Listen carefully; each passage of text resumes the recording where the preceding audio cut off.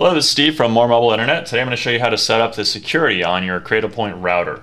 First off, we're going to go to a browser window and open it up and type in the number 192.168.0.1 and then that'll bring us to the Cradlepoint page like this and it's asking us for a password which is going to be the last six digits of the MAC address which is found on the bottom of the router. So I'm going to go ahead and type that in here. Uh, go. Now I'm into the main menu of the router and it brings us to status. What we're going to do is go over to basic so that we can set up our security settings. And the setup wizard is right there.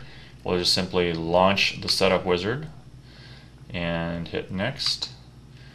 And the password that's already in there is the last six of our MAC address as well. So if you want to adjust the time, go ahead and then hit next and this is the SSID right here. That's the what's going to show up when you're searching for a Wi-Fi network. If you want to change that to your name or anything you'd like, that's fine.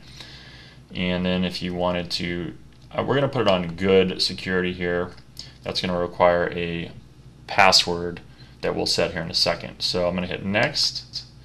Now it's asking for my wireless security password.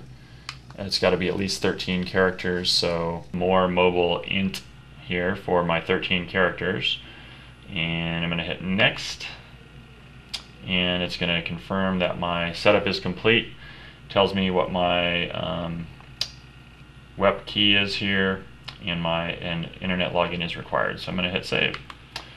And I'm going to hit save anyway yes